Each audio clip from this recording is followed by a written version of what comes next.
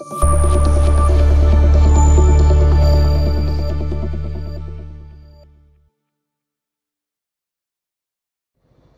साथियों, स्वागत है आपका मेरे इस चैनल पर। मैं हूँ एस के दास।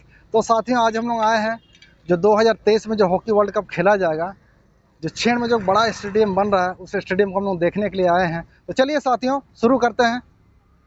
बिरसा मुंडा हॉकी स्टेडियम, जो 2023 में जो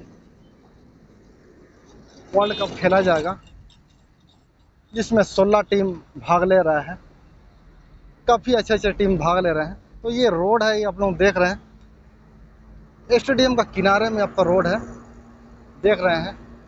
रोड का किनारे में बाउंड्री है स्टेडियम का।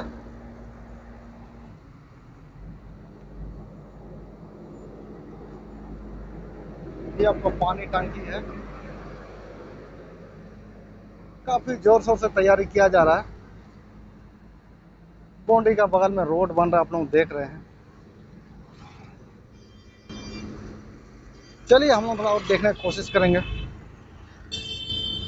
काफ़ी ज़ोर शोर से काम चल रहा है, साथियों। चलिए, हम लोग, कहा कि हम लोग अंदर गए थे, लेकिन अंदर हम लोग को बनाने नहीं दिए वीडियो। इसीलिए हम लोग बाहर से बनाने की कोशिश करेंगे। कोशिश करूँगा आपको अच्छा से अच्छा जानकारी देने के लिए काफ़ी बड़ा स्टेडियम बनाया जा रहा है। अब मैं अंदर गया था देखने के लिए, देखे तो तो बहुत बड़ा बनाया जा रहा है। लेकिन मैं आप लोगों को जूम करके दिखाने की कोशिश करूँगा ज़्यादा से ज़्यादा। गेट काफ़ी अच्छा बना रहे हैं। तैयार होने के बाद और अच्छा लगेगा। काफ़ी ज़ोर शोर से काम चल रहा है।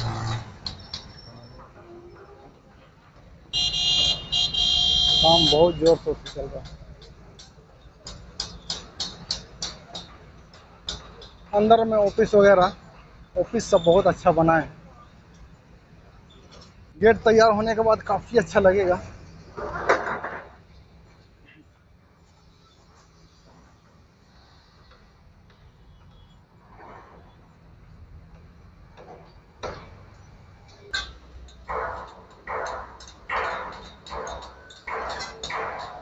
अंदर में ऑफ़िस सब काफ़ी अच्छा बन रहा है।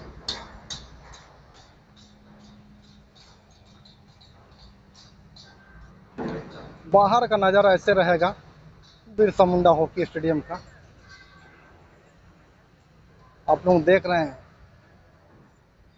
कितना अच्छा बन रहा है। वाकई लग रहा है, इंटरनेशनल हॉकी स्टेडियम है। बाहर तो दोस्तों बहुत अच्छा लग रहा है। ये आप लोग देख रहे हैं। बाहर से कितना अच्छा लग रहा है। बाहर का बनावट उसका बहुत अच्छा है। बाहर सब जो काफ़ी अच्छा लग रहा है। ज़्यादातर स्टेडियम में एंगल का यूज़ किया गया है। एंगल सब लगाए हैं। लोहा का बहुत ज़्यादा यूज़ किया हुआ है स्टेडियम में।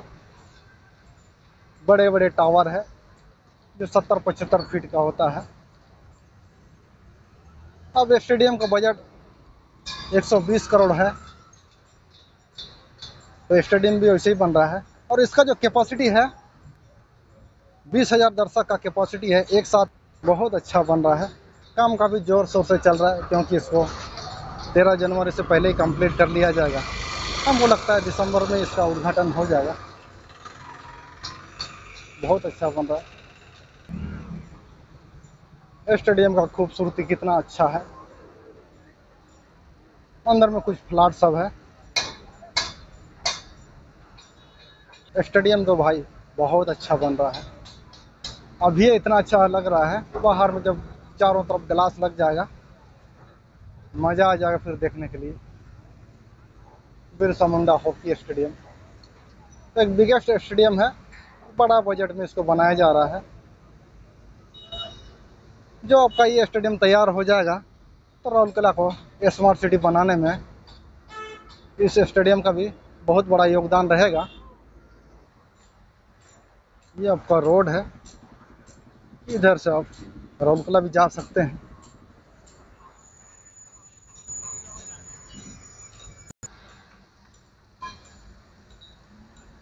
सामने आप सब देख रहे हैं।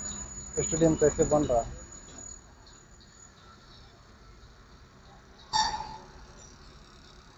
सामने सब ये नज़ारा देखिए, कितना अच्छा बन रहा है। बनने के बाद काफ़ी अच्छा लगेगा।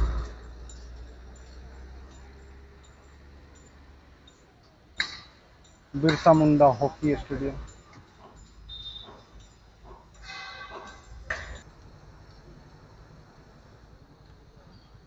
तो ऐसे तैयार हो रहा है, सर जी। Birsa Munda hockey stadium.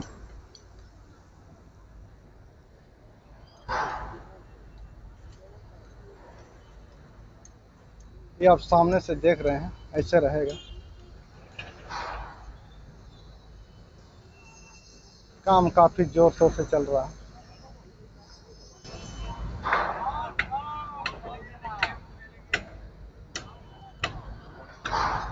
Stadium अंदर का नज़ारा थोड़ा दिख रहा है, सीट सब रेड रेड दिख रहा है।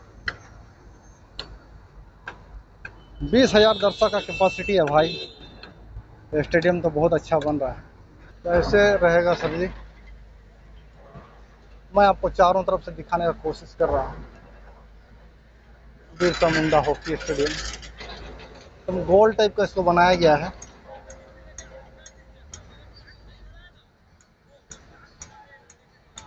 काम काफ़ी ज़ोर शोर से चल रहा है।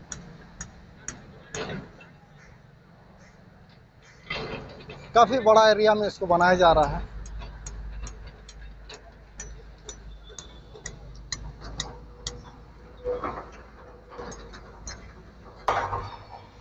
हॉकी वर्ल्ड कप से पहले इस इस रोड को भी अच्छा बनाया जाएगा। बीच में कुछ फूल का सब कुछ लगाया जाएगा। इसके बाद रोड का खूबसूरती और बढ़ जाएगा। तो सर जी इधर एक तो गेट रहेगा आपका। ये वाला एक तो गेट है। टोटल तीन गेट है अभी। जो पहले जो हम लोग उधर देखे एक तो इसके बाद ये वाला एक टू रहेगा। इसके बाद एयरपोर्ट से आएँगे तो सामने में एक टू गेट रहेगा।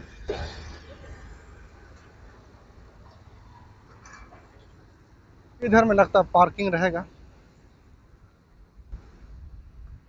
शायद ये गाड़ी का पार्किंग रहेगा लगता। है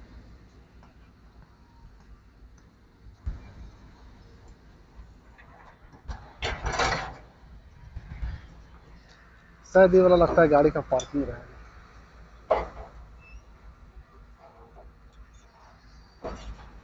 काम काफ़ी ज़ोर से चल रहा है।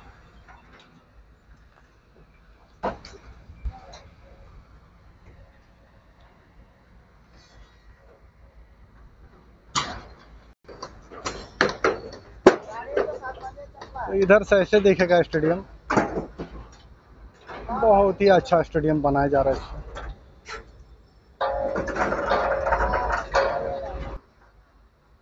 तो स्टेडियम का नज़ारा ऐसे रहेगा भाई जी।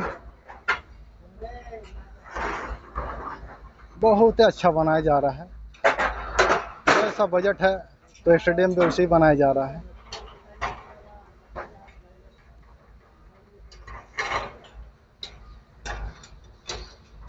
स्टेडियम को अंदर तो जाने नहीं दिए, लेकिन मैं कोशिश किया आपको, बाहर से ही अच्छा जानकारी देने का।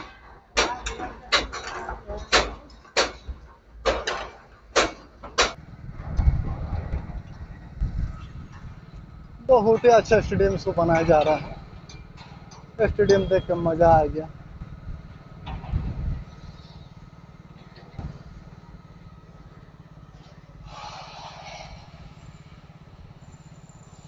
आपको बाहर का नज़ारा स्टेडियम तैयार होने के बाद वाकई आपको लगेगा कि हम स्मार्ट सिटी में आ गए हैं। अंदर में बहुत अच्छा अच्छा ऑफ़िस सब बनाया गया है। रोड सब भी इसका अच्छा बन रहा है। तो सर जी, मेरा वीडियो आपको अच्छा लगे तो मेरा वीडियो को लाइक कीजिए, शेयर कीजिए और मेरा चैनल में पहली बार आए हैं तो मेरा चैनल को सब्सक्राइब कीजिए। अगर आप सब्सक्राइब नहीं करेंगे तो मैं ये गाछ में चढ़ जाऊँगा भाई। और जब वीडियो बनेंगे तभी उसी दिन मैं उतरूँगा। उतना दिन मैं इस पेड़ का पत्ता ही खाता रहूँगा। तो साथियों, मेरे चैनल को सब्सक्राइब कीजिए। सब्सक्राइब करने से पैसा नहीं लगता भाई। थैंक यू सर जय हिंद. वंदे मातरम.